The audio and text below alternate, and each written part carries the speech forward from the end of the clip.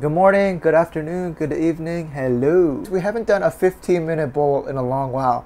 So I know there's a lot of new subscribers who want to sort of ease their way in uh, to the pool, you know, hold the rails, get into the baby side of the pool and start. So uh, today, let's do this one. It's very simple. If you have mushrooms in the refrigerator, pull them out and uh, I'll take you on the school bus. All right, let's go.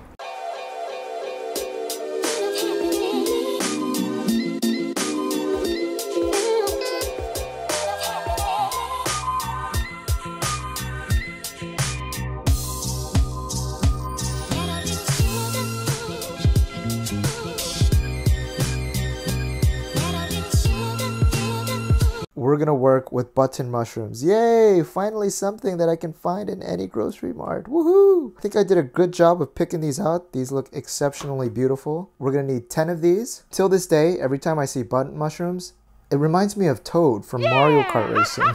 So rinse them thoroughly, get rid of any dirt, and then we'll just cut them in half. Alright, that's it for the mushrooms. Then we have a forearm length of spring onion. Cut them into the size of your pointer finger. Something like that. And at the wide portion, we're gonna cut this just in half. All right, very nice. And that's it for prep. What was that, maybe 30 or 40 or 42.3 seconds?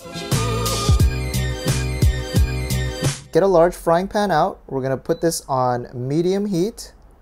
Three tablespoons of oil, two tablespoons of minced garlic, and two. Mix the garlic in, and once it starts to sizzle like that, then we'll put in all of our mushrooms. Alright, then just move this around so the garlic can grace that mushroom. And then once you see there's not that much oil left, one and a half cups of water. Woo! And then let's raise it to a medium high heat. Two tablespoons of soy sauce. That's one tablespoon. Second tablespoon in. One teaspoon of sugar.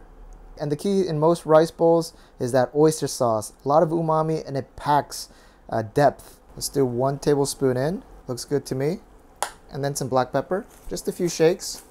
And once it comes to boil, guys, put it back down to a medium heat. And then we're to just let it simmer for a few minutes. In the meanwhile, we need to make a thickener. Then use two tablespoons of cornstarch. All right, second tablespoon. This is what really thickens up most stir fries. Uh, used a lot in Chinese cooking. And then equal parts water. That's one and two. Good. All right, mix it up. Now let's put in our spring onion. And then with the starch water, don't put it all at once. Just put in maybe about half and see if you need more. And you'll immediately start to see it thicken up. I think I'm to put the rest in. And now you'll see that it turns a lot more goopy, which is exactly what we want. Turn it off. I'm to actually throw in a little bit more spring onions, just so that I can brighten it up. Finish off with one tablespoon of sesame oil. Put that in.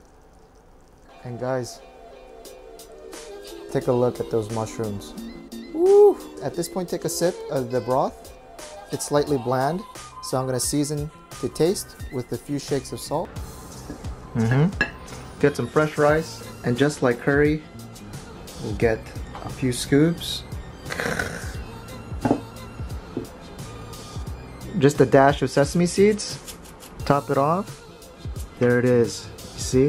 If you look at the sauce, a lot of the minced garlic is like stuck in there, like the Jurassic Park ember. You know, it's just holding value like that. but today, guys, I'm feeling rather ravenous. I'm gonna grill up some of this shabu shabu meat in a separate frying pan. A few slices of thinly cut meat. Oh my gosh, my mouth is already watering. All right, let's go in for that big scoop. Oh gosh, not enough room on the spoon. Maybe I put it on top. Oh yeah, oh yes. And then go in for that big bite. No! Mm. There's a lot of mushrooms. Any side effect if you eat too much mushrooms? just a random thought, but when I was young, my mom would always give me a glass of milk before I went to school because she's like, I'm sure you need to grow, so you gotta drink a lot of milk. Of course, we figured out later that I was lactose intolerant, but I was just thinking now, what if mushrooms had that? That thing to make you, I would easily be six foot four. Man, I'd be like six foot nine.